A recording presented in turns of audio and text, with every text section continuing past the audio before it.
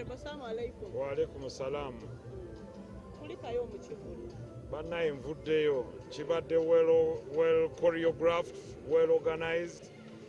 I think they are worth my money nsanyuse bampadde essanyu.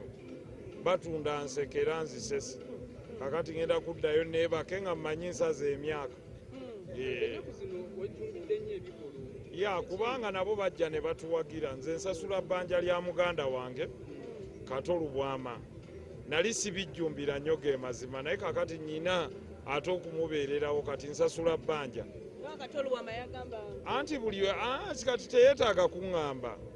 Buli yajja n'amulinnyira mu musaayi nange ate nnyina okudda gy'ali. Kakibe kyani bonna nabalaba nze yabawa omuzindaalo bonna bajja ne kuziika enkozi ate newaka baaliwo. Kakati okuuma oluganda n'omukwano gugamba omuzungu one good turn deserves another. Naffe buli eyatulinnyira mu musaayi tujja kukola buli kisoboka bwe tunaba tuzze- tetuzze wakiri tunaawangayo akatono. Abantu abamu batuuse n'ogamba oba honorable kati wafuuse gundi w'amabugo n'oyamba abantu ovaayo mu mabugo otwala byadda mulwana wavudde n'omuwase Yeah, what do you do? Abantu beetaavu gwe gwe basobola okufuna. Nyinza okuba mu byamasanyu sirabika nnyo naye omuntu gwe mmanyi bw'aba mu kizibu nyinza okukunga abalala ne tumuyamba. Ya. Sikirabaamu buzibu okuyamba abantu. Kakati oba kuba sinnalaba afa mulala naye kati katuyambe abalamu mpozi gwa- singa okiyita minisita w'okuyamba kuba ow'amabugo waba Oyagala ki- wabafiire oyagala ekyo ow'okuyamba Te- okuba teriiyo naye kyengezaako okugamba. Kasita oŋŋamba nti oyo mukwano gwa muntu oba mukwano gw'abantu kimmala. Enze ne bw'otampa ssente noŋŋabugaye ndi mukwano gwo kimmala mu bulamu bwange mba mumativu. Okay. twogereko ku shoyo omukulu the late katolu bwama eyo bannaye mbakubiriza mwenna. Bwe muwuliranga ennaku z'omwezi nga tuzanjudde muziteeke mu dayare. Abayimbi mwenna bapafomers mwenna abakatukonfamingirako mwebale bangi. Ate mwebale kubaawo the only thing we can pay back to katolu bwama and his team. Okujja ku serena ennaku z'omwezi zetunaaba tubategeezeza awuliddeko ategeezeeko abalala. Twagala tukole ekintu kyosobola okukolera mukwano gwo oba omuntu yenna eyali mu performing art nekirekawo ligase ey'erinnya lye ate nekiyamba ne famire wabula ate nekiyamba ne industry eyo gye balimu. So twagala okukola ekintu ekiri magnificent amazing. Production gyeri sigiriimu naye nga nze kati ndi kato. Nyina okubaawo nendabanga ensonga ze ziggwa. Mwebale nnyo mwenna abaatulinnyira mu musaayi. Abantu paka na kuzimba ntaana bakyatuweereza ssente mwebale nnyo mwebalire ddala. Mwebale kulaga kato mukwana abalala nsanga basange. Waliyo eyampadde awo juzi miliyoni ttaano n'ekitundu era nempita famire nenzibawa ku akawunti muli balungi nnyo kweka mwayagala omusajja ono. Buli wootuuka bakubagiza omulala n'akuwa omulala nomuga akatokyamba kati kubira abaana obawe kwena ennamba kofi wakato tugenda mulonkingaku olwo. Twebaza kofi consortium nayo eyakkiriza mwebale nnyo mwebalire ddala. So mwebyo byonna what can you do for a friend? Kumubeererawo waatali kato afudde muto alina n'abaana abato. Kati nze asigaddewo antiru ng'abaana bano beetengeredde. Everything within my reach nja kugezaako okukikola. Tomanya ffenna lwe lugendo simanyi nange alinninyira mu kino. So si kumala ku- kuziika noga nti awedde oba kola ntaana. How do i improve the kato he was by okukwata bye yaleka. Nembimprovinga nembifuula ekyettunzi n'ekyebbeeyi. Abaana be ne bamuganyulwamu ne batabeera okukaaba nga bagayi taata yafa kino tetukiraba. We can even make it better. Abantu abasinga bavayo ne basima kyewakola naye mulimu ne criticisms abagamba nti no sente kati abo tebaliyo abo bashaitwani kati sitaani bw'atasiima ye munoonyako ki abo nno nze nyina n'obudde obubaddamu ajja abanja ezize ze yawa. Twasi teri yampa ayinza nakubanja kuba abaateekamu bonna b'emikwano gyaffe. Tetusuubirayo shaitwani yenna kuba nti yatwegattako. Ya kakati te- teri asobola kubanja kyataawa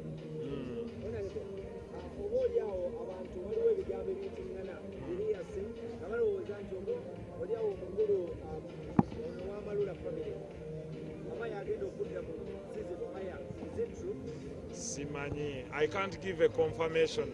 Kubanga nze siri mu production line naye you'll be so shocked nga ne ba artists abayimbi abamu bakuttemu lines mu muzannyo gwe is dedicative but it's also educative. Uganda at 60 entertaining dedicative but also educative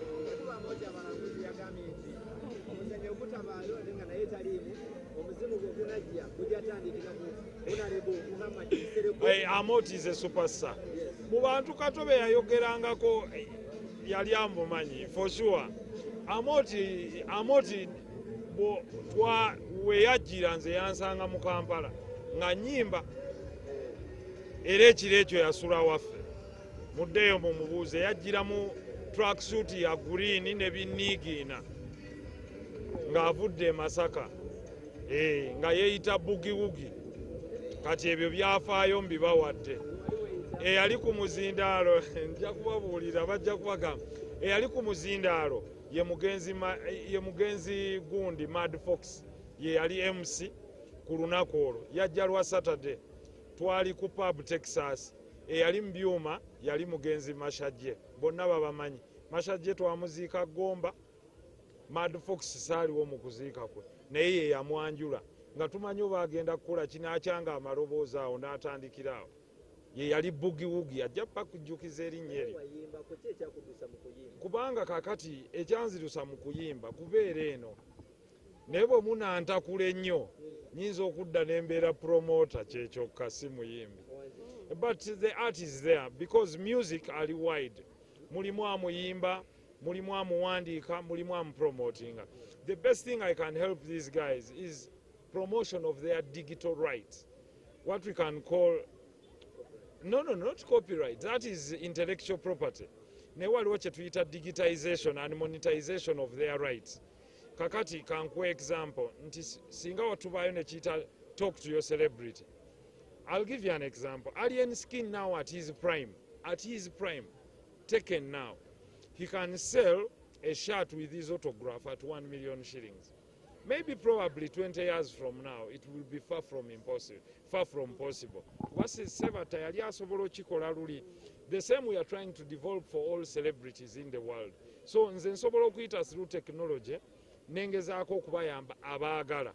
So nti ne bw'aba tayimbye nga bwe twakola luli i think uh, tiktok live n'omuyimbi omu abantu bacontributing about uh, 12.8 million in one hour so nga ate singa yali ategese show probably teyandizifunye. So if they can embrace technology not only in securing the validity of their rights but also their power of selling their digital wealth. So zezo endorsements ze basobola okuba nazo nga waliwo ayagala beyonce amugambe bugambi nti oba shakira happy birthday ng'ekyasobola okisasulira 300 dollars. So shakira probably 30 years from now oba 20 years ayinza okuba takyasobola kikola so nga ate bw'akikola kati oba messi messi in 5 years ajja kuba tasobola kikola whether we want it or not. But messi now waliwo ayagala essaati ye nga messi bw'aba yagisayininzeeko autograph n'amuweereza ne birthday greetings omwana mbawarabu ne taata asobola okuwaayo emitwalo ebiri egya dola. But five years from now messi will not be able to do it.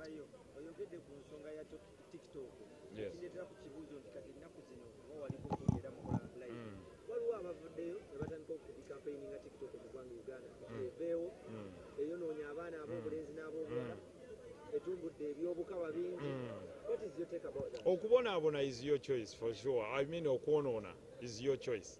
Kubanga social media apps nyingi instagram tiktok n'ebirala. Of course ayagala okwonooneka kiri kibanga kibanja. Osalawo n'ogenda mu byobwononefu naye kati abadde astreaminga show eno live ku tiktok ani gwayonoonye so social media apps zonna engeri gy'ogikozesa oyinza okugiwemulirako ekyo kiba kikyo era n'abawemula be bakugoberera. Naye bw'okolerako ebirungi ate nakyo kiba kirungi. What we have to do is digital transformation of our society. Okusomesa abaana bano nga bakyali bato mu ssomero. The usability of digital platforms. Tubalage nti osobola okutundirako ebintu byo osobola okusomesezaako osobola okusomerako osobola n'okwepromotingirako. Kakati abantu ababi mu society mwebali omubi ajja gikozesa bubi omulungi ajja gikozesa bulungi yes. Social media has pros and cons. In advantages and disadvantages. Should we completely ban it? The answer is no because it's a medium of communication. What is it threatening? It's threatening mainstream media. Why? Ba freelance operators bangi but that's what the world should be. So that omuntu yecreatingira omulimu. Nti you can run a tiktok account kubanga advertisement on conventional media is expensive naye nze nyinza okugamba nti ono omwana influencer ayina abagobezi miliyoni emu bw'akola kalive katambula kankuwengayo emitwalo ana. Kati oyo gavumenti tesobola mu employinga talina certificate talina ki? Naye wali wamu employinze mu kifo ky'okuba omubbi akoledde kino. Ne music ne art oli n'atandikira awo ne mumulaba nti eh, ono omwana mulungi mu art ne mupromotinga so should we ban tiktok? Absolutely no.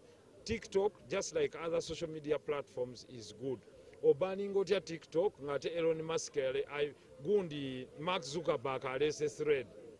So let me tell you the battle is on technological platforms. Tuyambe abaana baffe from word go ayige laptop ayige simu agifuule user friendly bajja kubyetamwa batandike bikolerako birala. Of course kuliko ba, ba savage people. Okwo but the, let's just create laws as protecting omwana ono omuto yeah that's it. Kyange kibadde um, wavudde n'osakira mu lwana oh yeah. Ah, n'ogenda n'omusakira ne bamuwa miliyoni kumi. Mm. Ah, wabula mu lwana sawa zino agamba ayagala kugenda at least obulwadde ba- babukeberereko keebwe Ah, mugenda kugivuga. Nja kumuyambako kyensobola nyinza obutamalaayo ng'omuntu. Kubanga nze bwe yankubira omulanga ng'ayise mwajaruuna mubiru ne mugamba mwagalani naŋŋamba onoonyeza ku sipiika namunoonya ne mmutuusaako. Ate abantu abali eyo mwenna mulwana abayenjoyinga oluyimba lwetooka kwa bbalabala abalala mwe mwakolerako ne muyitamu ne mufuuka abakulembeze. Please ne bwonoonyayo akasente katono n'okawa omwana ono obulamu bwe naabutaasa me alone i cannot help. Naye nsobola okukubiriza abali eyo nti omusajja ono yayimba tooka kwa bbalabala wakiriddamu olukube bwe lunaaba kirulina kye lukujjukizaako mumukyaze akola apiiru ye tuleke kugenda wa mwana ono ng'afudde tumuyambe mu bulwadde bwe nga mulamu. So please anyone who can help this young man mulwana do it. Not because of his political inclination but because of his contribution to the art and per- performing arts industry in the country. Akasembayo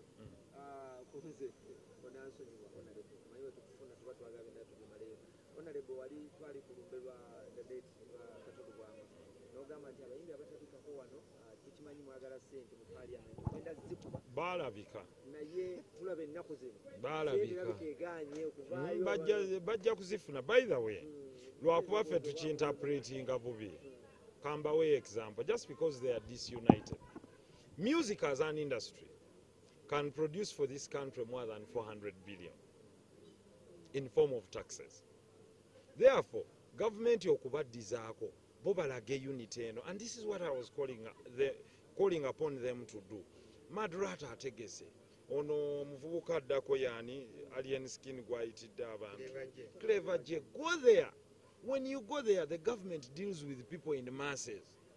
So ekyo kiraga nti there is traction ku kintu kyemukola so if it attracts people naye ejja kujja we muli. So whether it's 5 10 15 billion it's nothing.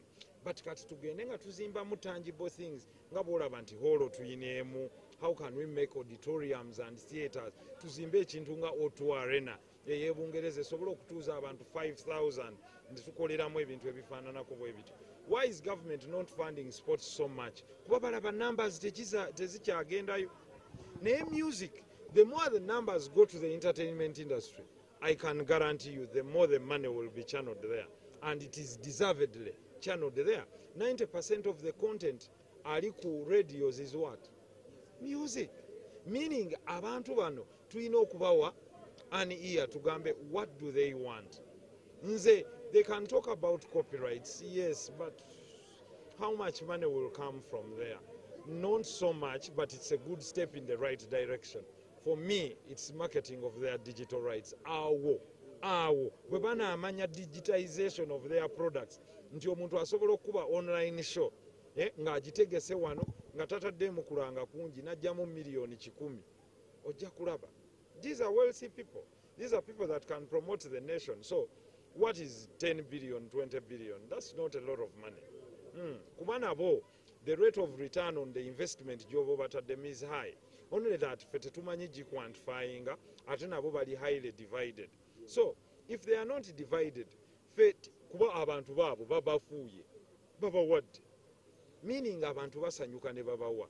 Why do you think government yo tesobola kubawa? Naye bawe ebintu ebiri tangible tukola auditorium ebawe I, i mean um, theaters ngaezo uh, movie city nga katozi dream amazing dream ekirala ezimbe ekintu ekiringa otu arena.